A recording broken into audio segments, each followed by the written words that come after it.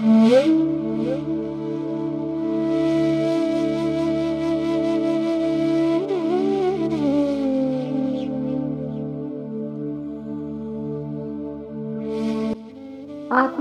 ഭക്തിയുടെയും വിശ്വാസത്തിന്റെയും ഉജ്ജ്വലമായ സാക്ഷ്യമായി വരലക്ഷ്മി വ്രതം നിലകൊള്ളുന്നു. കർശനമായ മാർഗനിർദ്ദേശങ്ങളോ വിപുലമായ ആചാര രീതികളോ പിന്തുടരാനില്ല. ദയയുള്ള ദേവിയുടെ ഹൃദയം കീഴടക്കാൻ ലളിതവും ആത്മാർത്ഥവുമായ പ്രാർത്ഥന മാത്രം മതിയാകും. ഈ വർഷത്തെ വരമഹാലക്ഷ്മി വ്രതം എന്നറിയപ്പെടുന്ന വരലക്ഷ്മി വ്രതം ഓഗസ്റ്റ് ഇരുപത്തിയഞ്ച് വെള്ളിയാഴ്ചയാണ്.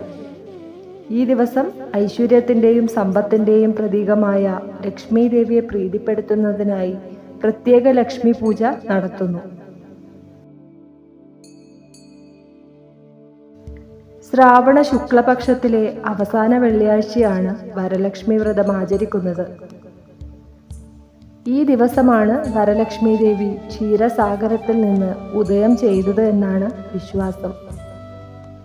ഇത് ദക്ഷിണേന്ത്യൻ സംസ്ഥാനങ്ങളായ കർണാടക തമിഴ്നാട് ആന്ധ്രാപ്രദേശ് എന്നിവിടങ്ങളിൽ ഭക്തിപൂർവം ആഘോഷിക്കുന്നു.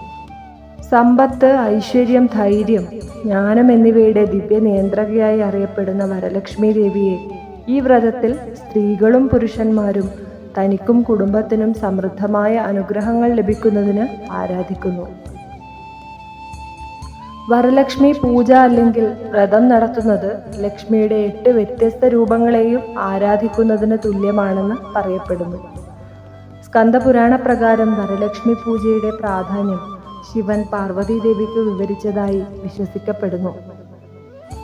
ഒരു സ്ത്രീക്ക് ജീവിതത്തിൽ ഏറ്റവും പ്രയോജനകരവും ഉത്തമവുമായ വ്രതം വരലക്ഷ്മി വ്രതമാണെന്നതാണ് ഭഗവാന്റെ പരാമർശം.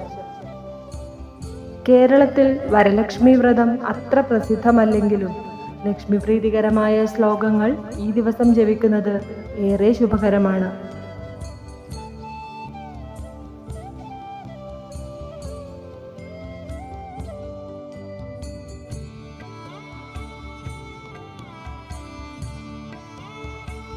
മഹാലക്ഷ്മി അഷ്ടകം ഭക്തിപൂർവം ജപിക്കുന്നത് ഐശ്വര്യവും വിജയവും നൽകുന്നു. മന്ത്രം ശ്രവിക്കുന്നത് ദേവിയുടെ അനുഗ്രഹം നേടാൻ സഹായകമാകുന്നു. വിശുദ്ധ മതഗ്രന്ഥങ്ങളായ പതിനെട്ട് മഹാപുരാണങ്ങളിൽ ഒന്നാണ് പത്മപുരാണം. പത്മപുരാണത്തിൽ മഹാലക്ഷ്മി അഷ്ടകം പരാമർശിക്കുന്നുണ്ട്. മഹാലക്ഷ്മി അഷ്ടകം ദിവസവും ഒന്നോ രണ്ടോ മൂന്നോ തവണ ജപിക്കാവുന്നതാണ്. ഇന്ദ്രഭഗവാൻ തന്റെ ആഗ്രഹങ്ങൾ നേടിയെടുക്കാനാണ് മഹാലക്ഷ്മി അഷ്ടകം രചിക്കുകയും ജപിക്കുകയും ചെയ്തത്.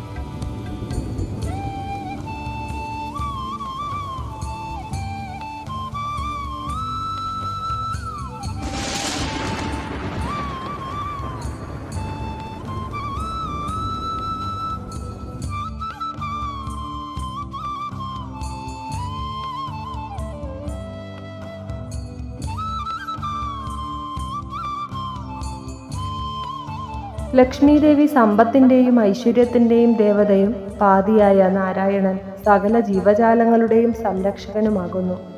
അതിനാൽ ഇവർ രണ്ടുപേരും ഐശ്വര്യത്തിന്റെയും സമാധാനത്തിന്റെയും സമ്പത്തിന്റെയും പരിപാലകരാകുന്നു.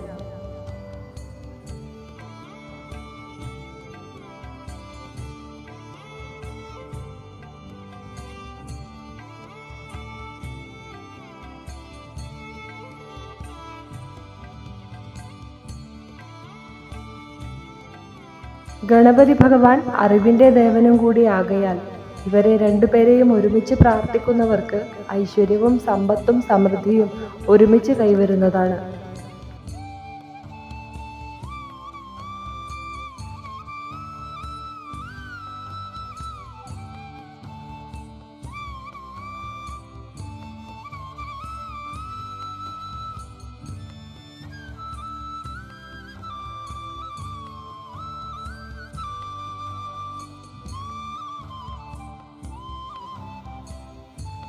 സമ്പത്തിന്റെയും ഐശ്വര്യത്തിന്റെയും ദേവതയായ ലക്ഷ്മി ദേവിയെയും സമ്പത്തിന്റെ ദേവനും വിതരണ കർത്താവുമായ കുബേരനെയും ഒരുമിച്ച് ഭജിക്കുന്ന ഈ മന്ത്രത്താൽ എല്ലാ സാമ്പത്തിക പ്രശ്നങ്ങളും അകറ്റുവാൻ സാധിക്കുന്നതാണ്. കടങ്ങൾ വീട്ടുവാനും കിട്ടാക്കടങ്ങൾ തിരികെ ലഭിക്കുവാനും ഈ മന്ത്രം സഹായകമാണ്.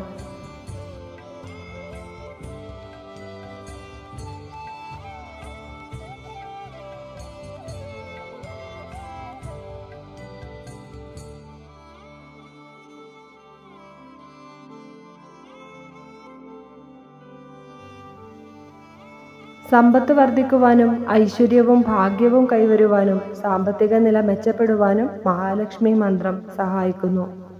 മനുഷ്യന്റെ നിലനിൽപ്പിനും മുന്നേറ്റത്തിനും നിദാനം അഷ്ടലക്ഷ്മിയുടെ ദിവ്യാനുഗ്രഹമത്രേ. അഷ്ടലക്ഷ്മിമാരുടെ കടാക്ഷം നേടാനായാൽ അഭീഷ്ടസിദ്ധിയും ഇഷ്ടസ്വർഗലബ്ധിയും അനുഭവത്തിൽ വരുന്നു.